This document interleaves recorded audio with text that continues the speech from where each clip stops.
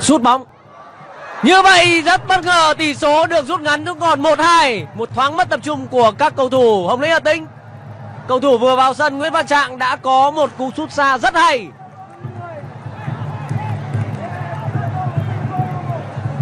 Sự thay đổi người của huấn viên Đào Quang Hùng rất kịp thời, Phát huy ngay tác dụng.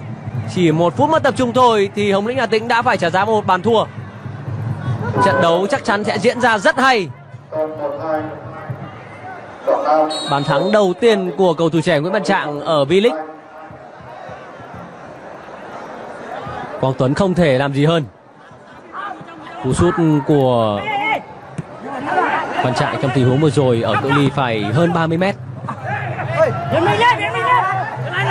Đi đập cột sau đó với nảy vào lưới của Dương Quang Tuấn.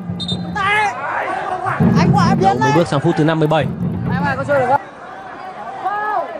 Masaday tiếp tục ừ, không đá bóng ra ngoài.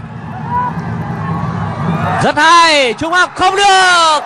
Một pha bỏ lỡ quá đáng tiếc của tiền vệ bên phía ông lĩnh hà tĩnh. Và trả bóng ngược ra tuyến 2 của Mansaray là rất hay. Trận đấu hay của Nguyễn Trung Học. Trận đấu mà anh đã chơi hay hơn ở trận đấu với Thanh Hóa rất nhiều. Chân trái không phải là chân thuận của Trung Học. Không khó hiểu khi anh có một tình huống đệm bóng không thật sự chính xác. Học hào. Bruno.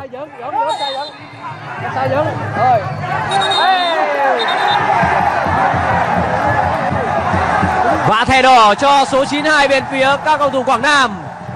Một lỗi hành vi thật không thật sự tốt của Nguyễn Anh Hùng, thẻ vàng thứ hai, đồng nghĩa với một thẻ đỏ.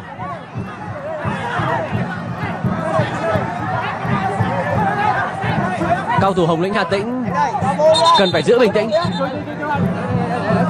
Một pha xử lý chính xác của các trọng tài.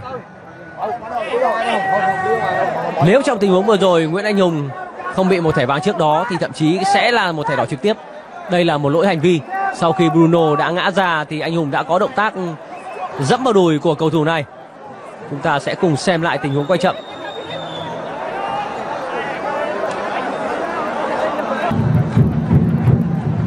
Rồi là một tình huống sở trường của Hồng Vĩnh Hà Tĩnh cũng như cá nhân của Victor Mansaray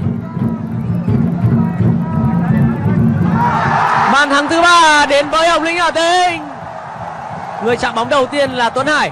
Nhưng người ghi bàn đó là Victor Mansaray bàn thắng thứ hai của Mansaray ở mùa giải năm nay. Không thể khác được. Với thế trận như thế này, thì Quảng Nam cực kỳ khó khăn. Bàn thắng rút ngắn tỷ số của Quảng Nam cũng đến từ một pha xuất thần của cầu thủ trẻ Văn Trạng mà thôi, và không đến từ lối chơi của họ. Và nếu chơi như thế này, đây mới là phút 71 của trận đấu, thì có lẽ Quảng Nam sẽ phải nhận thêm những bàn thua nữa.